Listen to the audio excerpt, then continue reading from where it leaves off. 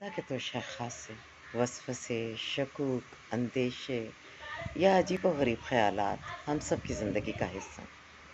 हम में से किसी को इनसे मफर मुमकिन नहीं।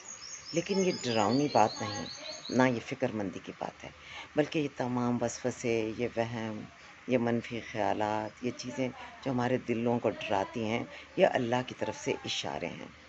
ये अलामतें हैं कि आप अपने लिए कुछ पेशबंदी कर लीजिए। अगर कोई आजमाइश दरपेश है तो प्लीज़ उसके लिए कुछ हिफाजती बंदोबस्त कर लीजिए। सो so, हमारे लिए तो हमारे रब ने और हमारे प्यारे नबी ने काम बहुत आसान कर दिया। आपके दिल को कोई अंदेशे परेशान कर रहे वहम और फ़िक्र हो रही है। प्लीज़ दुआ कीजिए। बेहद दुआ कीजिए। आप मुवज़ातीन पढ़ें। आप सदका दीजिए। वो हज़रत वासिफ़ अली वासिफ़ ने कहा ना कि असल में किसी फ़िक्रमंदी या परेशानी का बार बार ख्याल आना, अल्लाह सुबहान ताली की हमें मोहलत देना है कि हम उसकी पेशबंदी दुआ से कर लें।